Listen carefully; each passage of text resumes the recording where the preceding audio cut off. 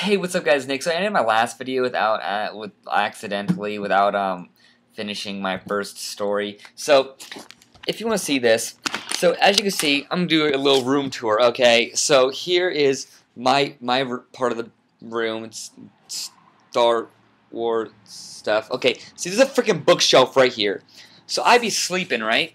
I'm all like, oh man, I'm gonna freaking, I'm like right here, right? So it's like Oh man, I'm gonna wake up. Boom! Right there. Freaking sleeping.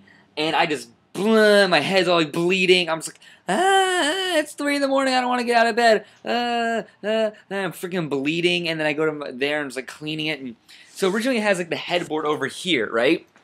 Over there. I switched the headboard so it's right there. And I figured, oh dude, I'll be way further away from the bookshelf. I won't bust my face open on it. And so, you know, it was going pretty well for like one night, and then I freaking hit my head and bust my face open. So that was cool. Um, first of all, in the agreement, it doesn't say, um, warning, you may bust your face open. So that's awesome. And freaking all this condensation built up on my pink lemonade and got my desk all wet. Cool.